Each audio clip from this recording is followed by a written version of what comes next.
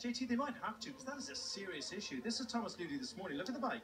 Yeah, and, and as you notice, they have put a, a big fence up. It must be 10 feet high, though, this fence. And look, that's just clipped it with a